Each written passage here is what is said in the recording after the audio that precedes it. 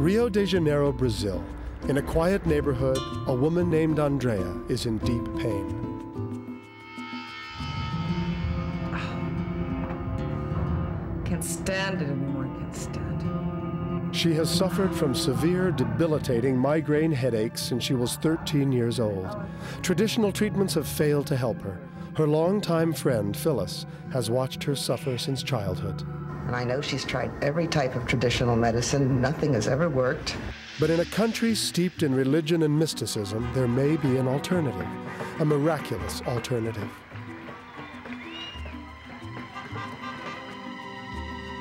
Today, Andrea and Phyllis will meet Brazil's most famous healer, Dr. Fritz.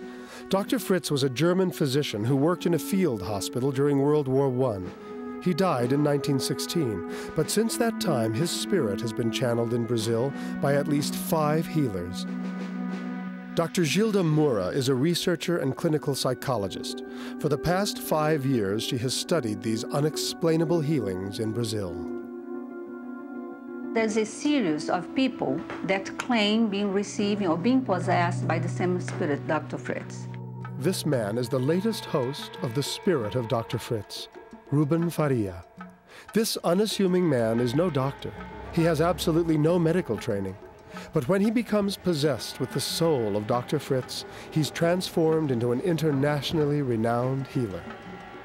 What you are seeing is Ruben Faria receiving the soul as well as the medical abilities of Dr. Fritz.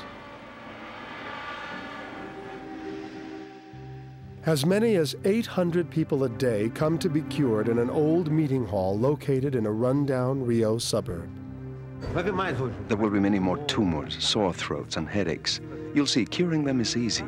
What is more difficult is awakening the head and heart, giving people faith for the rest of their lives. That's my real mission, to help others find themselves.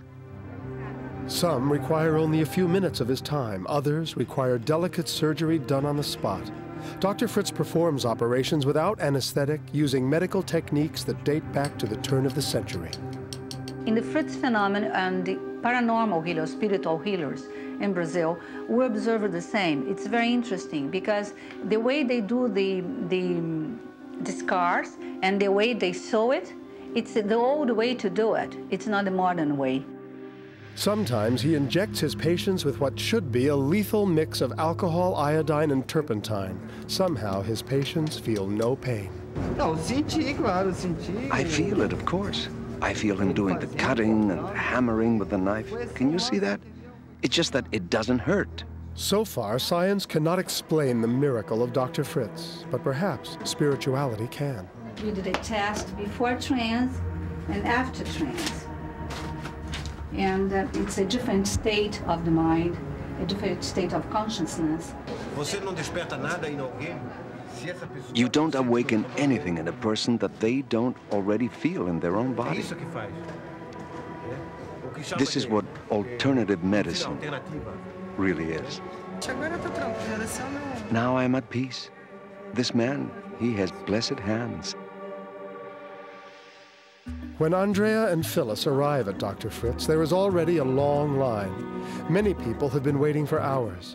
On this day, like on most, there are no unhappy patients. E agora? No problem. Perfeito. Now it is Andrea's turn. She won't require any surgery, but she is still nervous. I don't think I can live. After a last-minute hesitation, Andrea follows Dr. Fritz to his work area.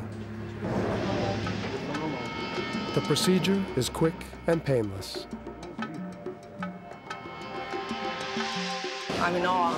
I didn't feel a thing. Yeah, there was something very protective about him. I mean, there, there's something he makes you feel good. I mean, he told me to thank God. He says, if you don't feel any pain, thank God for that. And I said, no, I'll thank you. And he says, no, thank God. I don't have anything to do with it. That's what he said to me. And, and it felt very positive. I mean, it was a positive feeling, good vibes, if you will. For Andrea and thousands like her, the miraculous healing powers of Dr. Fritz, as channeled through the body of Ruben Faria, have provided the relief that modern medicine hasn't. When you come out here and you see it, it's very hard to remain cynical about it. He has something.